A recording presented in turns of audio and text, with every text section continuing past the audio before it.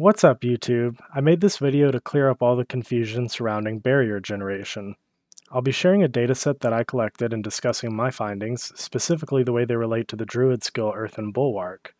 There's a common misconception that the damage increase from barrier generation caps at 60%, but this is not true. Since I'm a scientist, I decided to conduct an experiment. I have two identical gear setups. One is using sapphires and has 62% barrier generation, while the other is using diamonds for 82% barrier generation. My hypothesis is that setup 2 will do more damage than setup 1.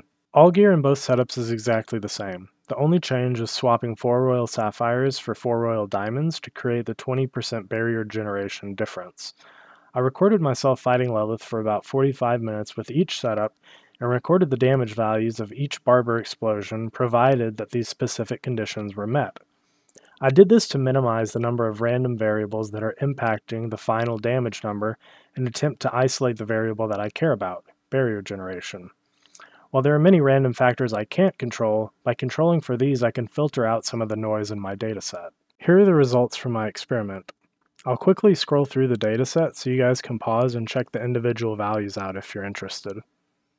I collected 75 data points for setup 1 with 62% barrier generation and 71 data points for setup 2 with 82% barrier generation.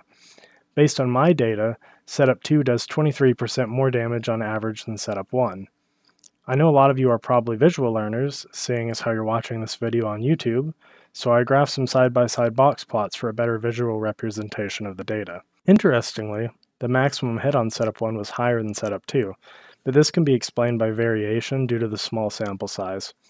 I'm fairly confident based on this data that barrier generation continues to scale your damage past 60%, but the best way to prove this would be for other people to replicate this experiment. Next, I'd like to discuss an additional benefit of barrier generation and the way it interacts with Earthen Bulwark. The maximum health of the barrier is equivalent to 100% of your base life. Your base life is determined by your level and cannot be increased by your gear, gems, or paragon nodes. However, with enough barrier generation, you can safely take skill points out of Earthen Bulwark without sacrificing any effective health or damage. I made this chart at the bottom right to help you determine how many skill points you should have in Earthen Bulwark based on your barrier generation. What this means is if you have less than 72.4% barrier generation, you should have 5 points in Earthen Bulwark.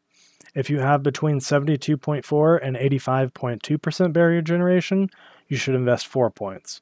If you have between 85.2 and 100% barrier generation, you only need 3 points, and so on. For example, my character currently has 77.5% barrier generation. So I took one point out of Earthen Bulwark, and then I was able to put that in this passive for an extra 3% movement speed.